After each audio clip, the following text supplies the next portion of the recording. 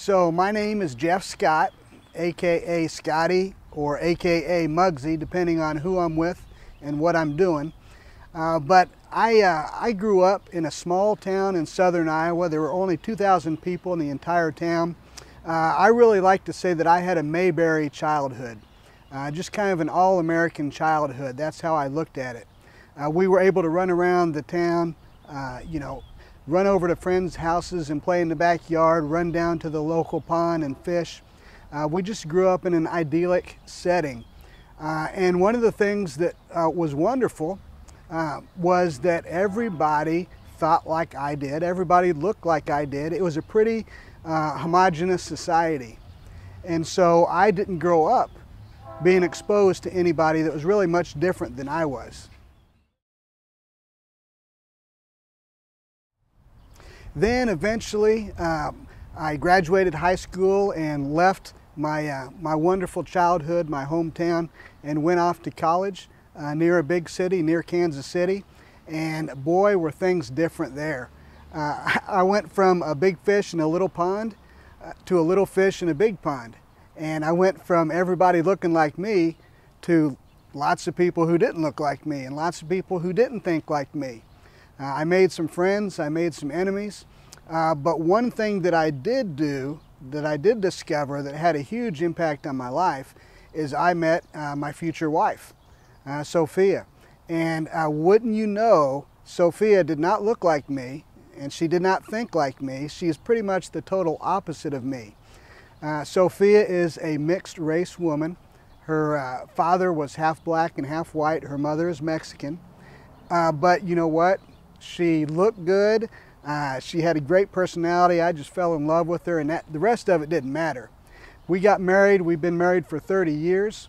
Uh, so through that 30 years, I've been exposed to a lot of people who were different than me, uh, how they thought, how they acted, um, and it's been it's really enriched my life. So uh, as a result of of this exposure to diversity, you know, I started thinking, hey, I'm a modern guy. You know, I don't have any issues with race or people who are different than me. But over time, as uh, we progressed in our marriage, as um, uh, I just got to know her better and I became more mature myself, I started recognizing attitudes in myself uh, that didn't fit with the image that I thought that I was. I thought I was this modern guy, right? but I started recognizing attitudes in myself that were prejudiced. Uh, and I just, I couldn't figure out why that was. Here I had this newfound exposure to diversity, and why were these thoughts popping into my head?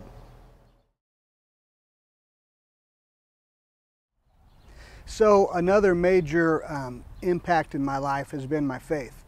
Uh, my faith has made a huge difference uh, in how I think, how I act, how I believe, and it's progressive. Uh, I've grown over time in my faith. And uh, one of the things that I do each morning when I pray is I pray the prayer of St. Nicholas. And in the prayer of St. Nicholas, uh, you pray to seek first not to be understood, but to understand someone else. And over time, I've really learned the value of getting to know people who are different than me uh, and not defending myself for my own thoughts or actions, but getting to know who they are and trying to understand them. And uh, as I've done that, it's really enriched my life. Uh, it's enriched my friendships and it's broken down some, some prejudice attitudes in my own life. So I just want to get together with Romeo and have some conversation, get to know him, and commit uh, to understanding him and to making the world a better place in the process. Hey everybody, this is Ronald Romeo North, and um, I'm from a small city called Tampa, Florida, home of the world champion Tampa Bay Buccaneers. And um, unlike my friend Mugsy, um, I had the opportunity to kind of grow up all over the world. Um, I've lived in Japan, I've lived in Germany, uh, I lived all over the United States, um, being a military brat. But not only that, I'm actually a former member of the group Soul Fruit, and um, that afforded me the opportunity to travel all over the country, singing and dancing, and loving on people. And so, with that all of that stuff gives me kind of a a unique life. Now, a byproduct of that unique life is that I have a what I consider to be a very special worldview, which is kind of like a Jesus worldview.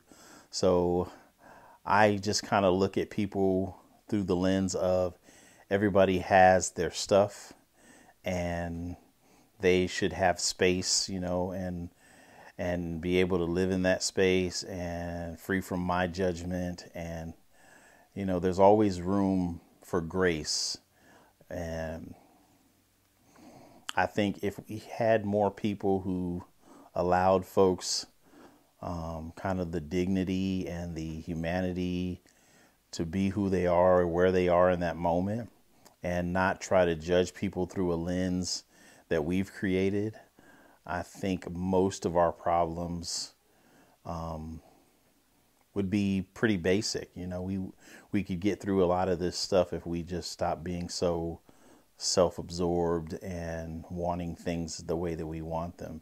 And yeah.